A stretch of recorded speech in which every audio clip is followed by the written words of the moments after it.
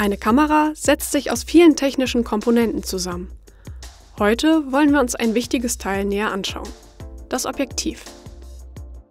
Objektive gibt es in den verschiedensten Variationen. Einige sind klein und kompakt, andere wiederum größer und schwerer. Dabei gibt es neben der Größe noch weitere Merkmale zur Unterscheidung von Objektiven. Doch welche sind das? In einem Objektiv ist ein komplexes System aus Linsen verbaut, die das Licht entweder brechen oder sammeln. So wird es noch gezielter auf den Sensor gerichtet und mögliche Abbildungsfehler verhindert.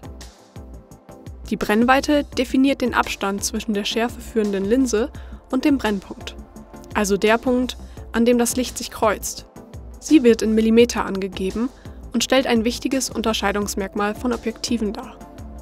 Neben Objektiven mit einer festen Brennweite gibt es auch Objektive, bei denen die Brennweite verstellbar ist. Mit diesen Objektiven ist es möglich, im Bildausschnitt zu zoomen.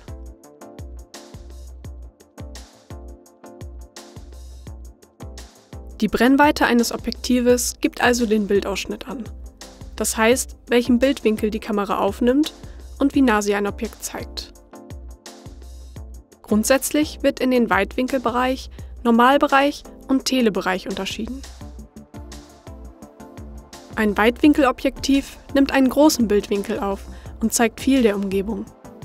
Ein Normalobjektiv nimmt in etwa den Bildwinkel auf, den auch unser Auge aufnimmt und wird deshalb als realitätsnah bezeichnet. Ein Teleobjektiv nimmt einen sehr kleinen Bildwinkel auf, sodass ein Objekt von der Umgebung hervorgehoben und detaillierter gezeigt werden kann. Die Millimeterangaben der Brennweiten, um den jeweiligen Bildwinkel zu erreichen, können von Kamera zu Kamera variieren, da die Größe des Bildsensors ebenfalls eine Rolle spielt. Welche Brennweite ein Objektiv hat, kann man anhand der ersten Zahl auf der Oberseite des Objektives erkennen. Steht dort eine Zahl, handelt es sich um eine Festbrennweite. Ist ein Bereich angegeben, handelt es sich um ein Objektiv mit verstellbarer Brennweite. Neben der Brennweite befindet sich noch eine weitere Zahl auf der Oberseite des Objektives. Diese Zahl gibt die Lichtstärke des Objektives an. Um die Lichtstärke zu verstehen, müssen wir uns zunächst die Blende der Kamera näher anschauen. Die Blende dient der Regulierung des Lichteinfalls in der Kamera. Ist sie geschlossen, dringt weniger Licht auf den Sensor. Das Bild ist also dunkler. Ist sie geöffnet, dringt mehr Licht auf den Sensor und das Bild wird heller. Die Lichtstärke gibt an, wie weit die Blende bei der vorhandenen Brennweite geöffnet werden kann.